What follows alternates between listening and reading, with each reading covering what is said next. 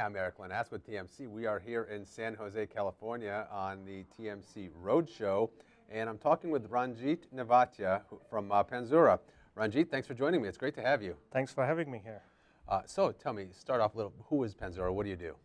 So Panzura is a, um, a software vendor in the storage space, uh, more specifically in the cloud storage space.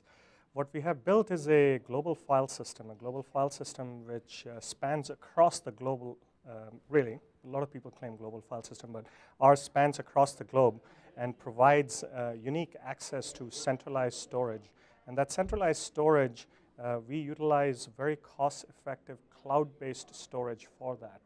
Uh, and when I say cloud-based storage, I really mean object storage technology. Mm -hmm. So we are essentially a NAS device uh, but that NAS device is built on top of this object storage, cloud storage. Uh, we don't use any of our storage. Instead, we bring the storage from a centralized repository. And then we have this global file system which sits on top of NAS device, uh, which makes all of it look like a single device, irrespective of wherever these devices are uh, deployed. Um, as a matter of fact, uh, one of the leading storage analysts, Steve Duplessie, calls us the NetApp in the sky. Mm -hmm. Uh, sort of uh, uh, the claim being we are the NAS of the cloud. So when you say global file system, you're referring to the fact that, for instance, a distributed organization can can use you and, and, looks like everything is stored in one in one place. That's exactly right. So a lot of our large companies have been able to centralize a lot of their remote storage from branch offices mm-hmm. and centralize it into a, cloud repository, let's say, uh, whether that cloud be local or uh, um, uh, not local, sorry, whether that cloud be public or private cloud, and then we they, they are able to still access that storage as if it was sitting local to them.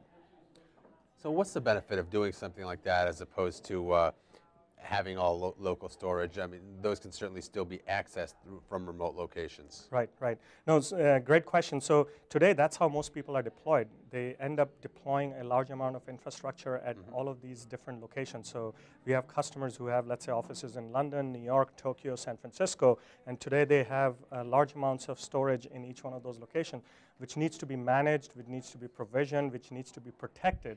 And that becomes a challenge, uh, especially if you don't have IT organization in those locations. Um, they, not only that, they have to uh, typically replicate that storage to a, some sort of a centralized location uh, for disaster recovery purposes. So making it very difficult, very time consuming, as well as very expensive to, um, to utilize that storage effectively. Uh, especially when they're trying to collaborate across these sites. So if a user in New York is trying to access some information which is sitting in a storage in London, there's this wide area network which comes in between, making it very difficult for those two entities to be able to collaborate with each other. So we solved that collaboration problem by creating this uh, global file system uh, where your um, files are always centrally located, but these files are accessible by both of these uh, locations as if they were sitting local, so that if one uh, place makes some changes to the file, the other location is able to see those changes immediately. So in, in, uh, in uh, certain types of verticals, like your vertical, media and entertainment vertical, there's a huge amount of um, requirement for people to be able to collaborate on these video files mm -hmm. which you're generating, sure. right? So these video files need to be edited by artists in London or artists in uh, uh LA at the same time, and we enable that kind of collaboration between these two locations. Now, uh, you, you've developed the, the file system. Do you also actually provide the storage capacity?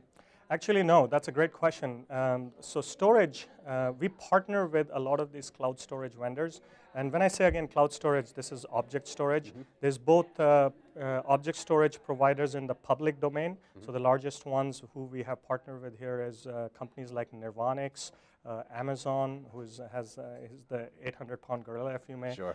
Nirvanix is also a market space leader from an enterprise storage perspective. Uh, we partner with Google. Uh, these are all our public cloud partners. Recently, we also announced partnership with HP, uh, who announced their cloud storage right. Uh, just a couple of months back. Um, on the, th- so that's on the public side. On the private side, also, we enable companies uh, to build their own object storage. And there we partner with companies like EMC, which has object storage uh, offering, Mm-hmm. as well as a um, couple of other new startups who are starting to uh, form around this offering, companies like Amplidata and uh, Scality. So these are all the object storage vendors who provide that back-end infrastructure, the back-end repository for us to be able to store all of our data. But in terms of making that data usable or um, making that storage usable by enterprise applications, that's something which uh, our device bridges that gap. So today's enterprise applications are not really designed to take advantage of that object storage. Um, through the Panzura device, enterprise applications uh, like backup applications or archive applications or uh, just standard file serving type of applications can take advantage of that object storage. Excellent. Well, uh, Ranjit, it's great to hear from you, and uh, thank you for joining us on the TMC Roadshow. Thank you much. Really appreciate the time. Take care. Thank you.